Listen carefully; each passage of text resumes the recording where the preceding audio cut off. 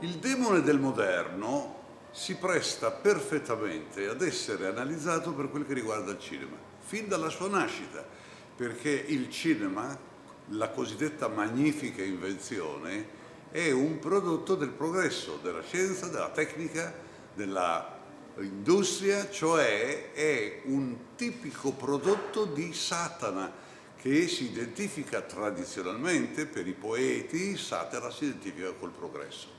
E questa magnifica invenzione fatta nelle officine Lumière che vengono inquadrate nel primo film della storia del cinema.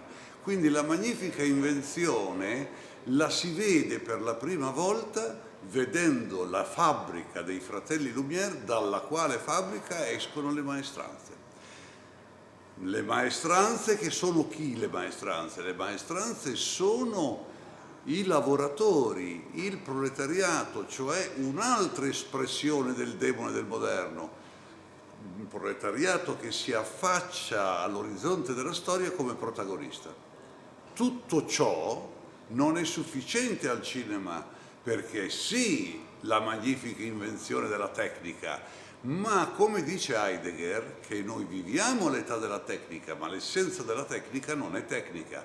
E infatti il cinema vuole evolversi, uscire, andare oltre la tecnica e diventare un'arte, cosa che riuscirà a fare dopo vari passaggi, vari passaggi americani, i comici e Griffiths, nella Unione Sovietica, che è già Unione Sovietica, e sono le forbici poetiche, cioè il montaggio, che decidono che il cinema è diventato un'arte, un linguaggio autonomo capace di comunicare autonomamente con una lingua che è solo la sua, una nuova realtà.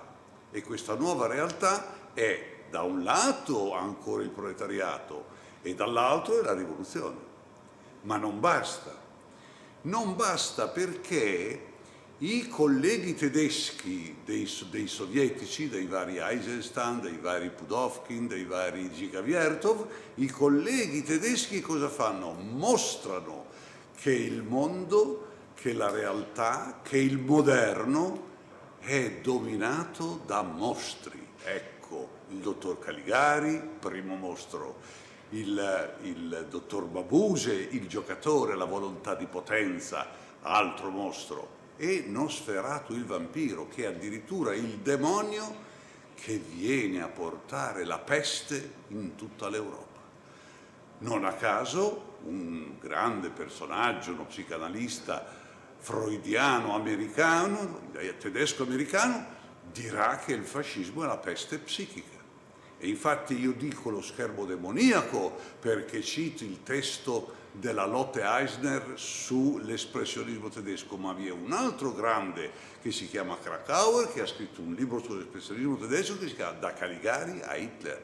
Ecco, i mostri, i mostri del moderno, di questa civiltà mostruosa che diventano, diventano Satana stesso con il Faust portato sullo schermo da Murnau dove la volontà di potenza di voler essere non solo immortali ma eternamente giovani viene rappresentato come una forma demoniaca che con l'aiuto dell'amonio si può anche realizzare a patto di diventare demoni.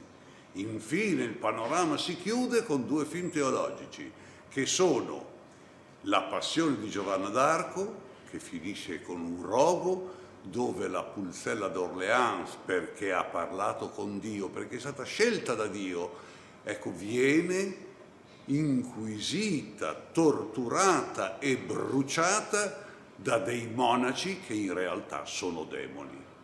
E l'altra, e l'altra forma di eh, eh, testo teologico è quello che ho già citato, cioè il testo di Murnau, il Faust, che non a caso diventerà sinonimo di Satana, mentre Fausto è un uomo che si fa Satana perché vuole essere eterno ed eternamente giovane.